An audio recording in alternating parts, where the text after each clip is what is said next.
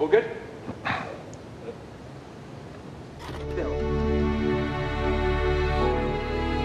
This is a pivotal moment in time to be in the car industry. This isn't like a little thing. This is a monstrous change in dynamics of cars. We are all trying to figure out how to be more environmentally friendly. But we're also planning for a very different future, ultimately autonomous driving. But on that journey is electrification. There are so many factors that's making the shift to electrification not a question of if, it's a question of when. Almost 100 years ago, Henry Ford himself was looking at electrified as a technology. Our first generation battery electric vehicle started its life as a product that we needed to do to be compliant in the zero emission state, the green states, if you will. Initially, it was all about range and it was all about just being green. The team was trying to show to the customers that we have this incredible technical capability.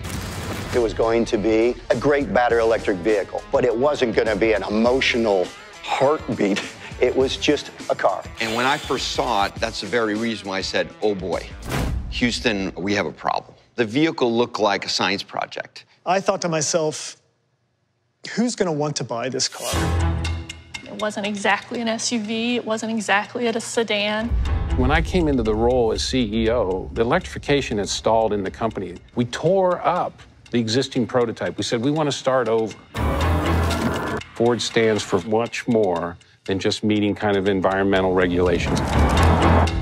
We put everyone in one agile group and we said, bring us lots of prototypes. It was about unleashing the passion and creativity of people who wanted to interpret something so new that it was actually risky. Team Edison was this brilliant idea of create a, a company within a company, a small, coordinating, visionary force to create aspirational product. The best way of increasing electric car take-up in the world is to make things that people really want. We know customers, they're looking for a guilt-free transportation with iconic design that can represent themselves. We needed to do something that was going to be state-of-the-art, cutting edge, and exciting. We wanted to deliver something that was magical. And then we started to ask ourselves, what would get people excited about an electric product? And it was actually Jim Farley who suggested, what if we made it a Mustang?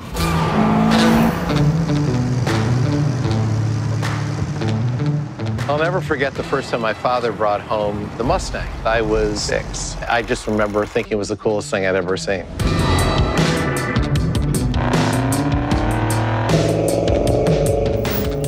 My first Mustang was a 69 Mach 1. My father bought a 1964 and a half 289. My two sisters also had Mustangs, so it's a family affair.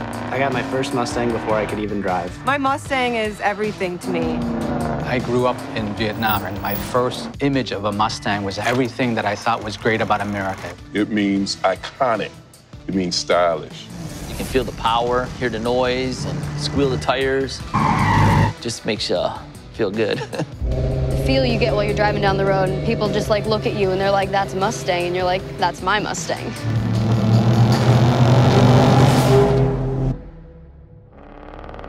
Mustang means driving really fast on the highway, listening to some really loud music. It's about power. It's about performance. It's the just pat, pat, pat. Incredible. It's an original. It's an American original. You could remove all the badging and blindfold somebody until they get in the car, and they could drive down the road and know it's a Mustang.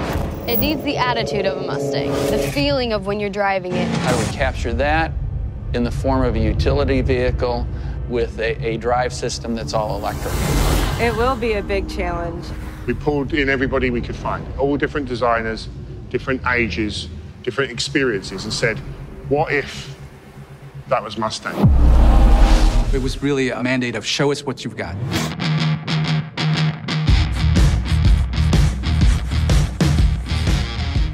Everybody from every studio around the world sketched day and night, trying to come up with better concepts than what we had. It was nuts. The designers, they were all just super excited. It's like you were almost inventing as you were going. It's amazing how things started to happen quickly. This is a huge difference from the other companies. To take your most cherished icons and to ensconce them in the electrification vision It's unheard of. This is where the journey starts to become difficult. How close to Mustang should it be? Do we put a pony on it? Do we call it a Mustang? Is it a close cousin? Is it a sibling? It was exhilarating, but it also scared the shit out of me because you are messing with the crown jewels. Consumers from one of our research clinics was saying, Are you guys crazy? The heart of the company's on trial here because that brand is so precious, it means so much to everyone, and it has a very high standard of performance. I was absolutely adamant that it not be a Mustang because to me, it couldn't possibly deliver upon the Mustang promise. When I saw that it was going to be an SUV, I really dug my heels in. Mustangs are two doors, not four. They're a coupe, not an SUV. And we were doing a four door SUV electric. Holy cow, right? And this is where the magic happens. This is the spirit of Ford. Once I started to look at the prototypes of this idea, I knew we had lightning in a bottle. You could see already from that first clay that this could be something really, really unique. The design team did an amazing job with it, and all of a sudden it started to make sense to me. If we actually want to be proud of this vehicle and everything it can do, we ought to call it Mustang. Well, now we had made the decision, so we have to deliver on it. We were literally tasked with you guys need to change the future trajectory of Ford. You guys need to create a new icon. I think everyone's first fear is Ford's taking away the coupe. We're not. The coupe's there. This is a new horse to the stable.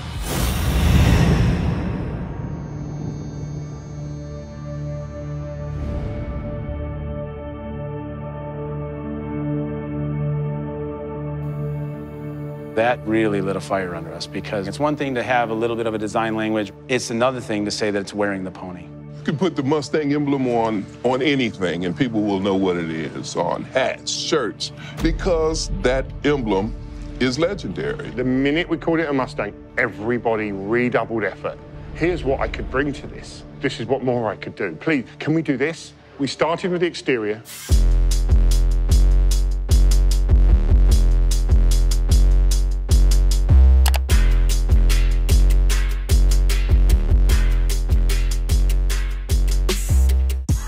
You think of all the classic cues and styling of the different Mustangs through the years, The long hood, the muscular haunches, the lines that cut through almost like tendons and muscle. it's imprinted on your brain.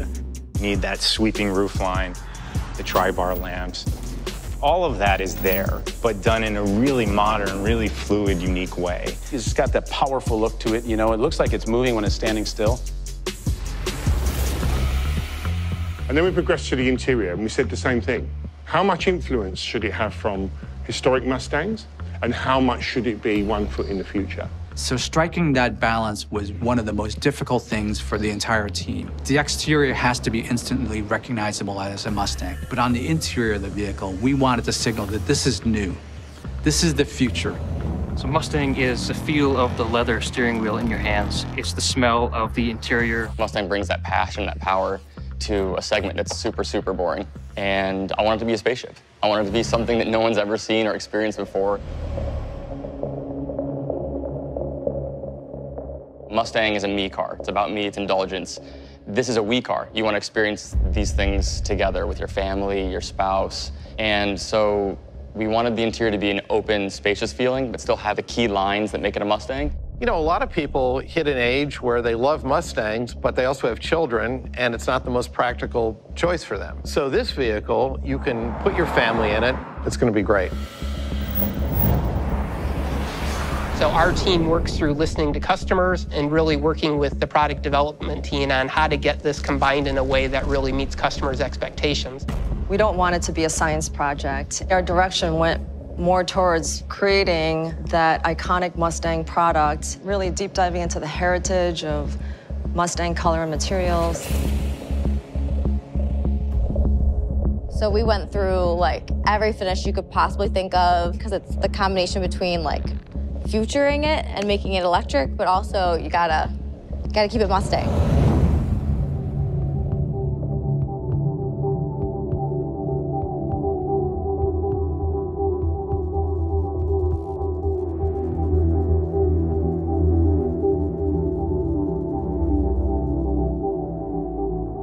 Electrification is so much more than an electric motor. It allows us to remix what a car is. This product is going to be like a technology tour de force. So that's what customers want.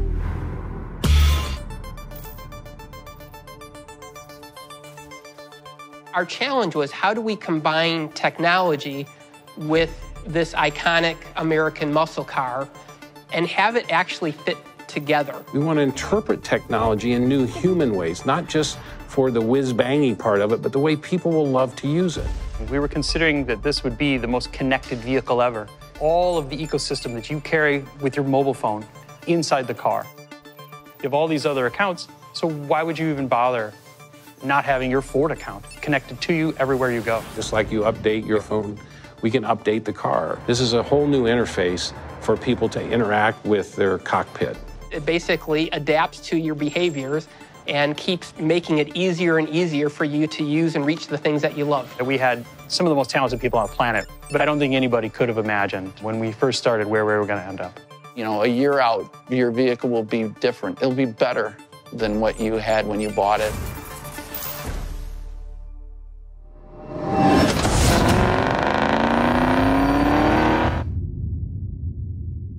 Everyone knows the sound of a Mustang.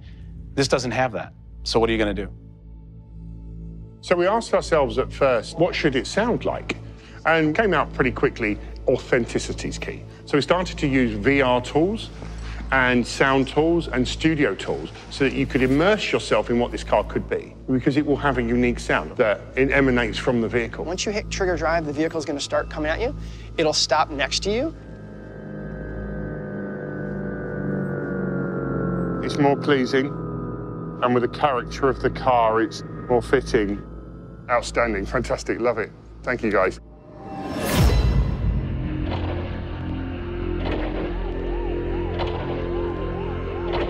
Expectations with any car wearing the Mustang badge are going to be big. Every Mustang's better than the last, more powerful, more aggressive, more of what diehard Mustang customers really, really love. This is something very different. Can't lose the heritage, can't lose the style. It's got to be fun to drive, it's got to be eye-catching, and most of all, it's got to go like hell. Electric vehicles are way faster than gas-powered vehicles. They could make that car really go if they really wanted to. We actually sized the high voltage battery and the motor to meet the performance targets. It's amazing how fast it drives. Aerodynamics is extremely, extremely important on this vehicle. So we're really working to drive the drag as low as possible to enable better range while still allowing it to look great. We are bringing performance and environmental friendliness together in one vehicle in a way that we've never been able to do before.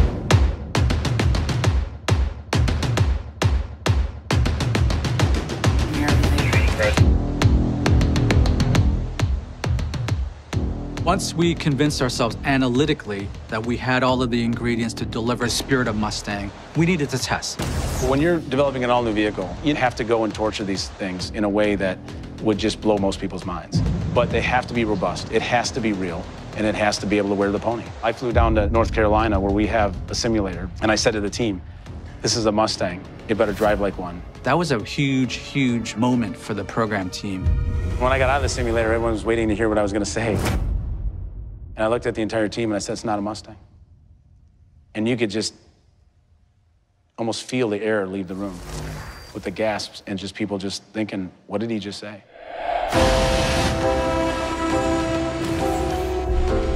You could see the team was now in a, almost I would call it tizzy, because nobody would have expected. We said, guys, we have all of the fundamentals in place, but it was all about the fine tuning. We have to go back and make this a Mustang.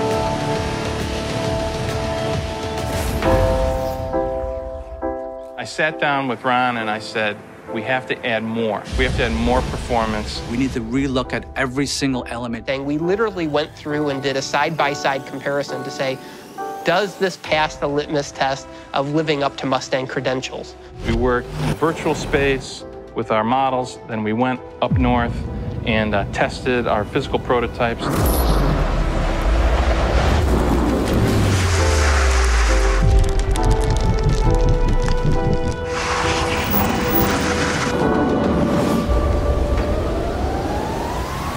took the base car out to the track, and we knew we had something special. You push on the accelerator pedal, and it's instant thrill. And it was at that point I said, we've got it.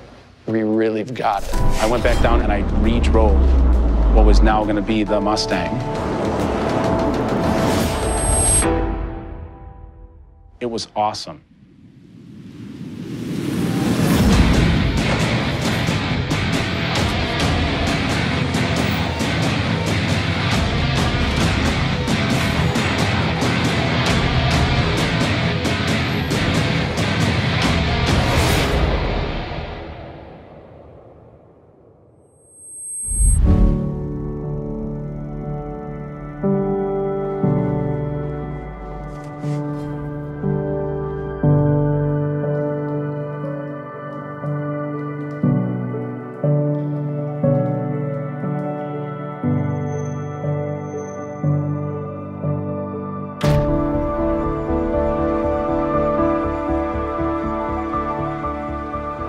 We held a huge event with everybody who is a key stakeholder in Mustang together. Thousands of people working on this.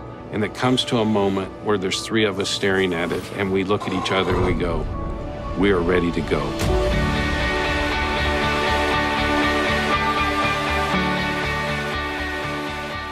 The reaction that car got was unbelievable. This is a perfect combination of both worlds, a high-tech vehicle with iconic design. The combination of that technology with emotion, with Detroit swagger. This vehicle will surprise people. And after 40 years at this company, I got to tell you, I'm thrilled.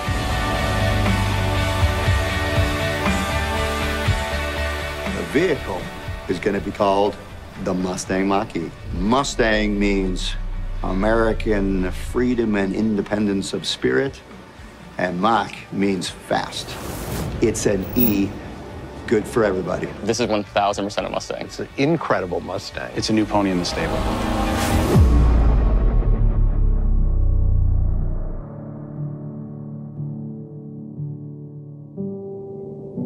We're starting to move more and more away from internal combustion engines. People have to embrace that. And embracing it in an electric Mustang is better than embracing it in no Mustang. Mustang's going to continue to change and continue to be the car that we all know and love. I think the Mustang name is going to go forever. Probably have spacecrafts riding around and say Mustang on it.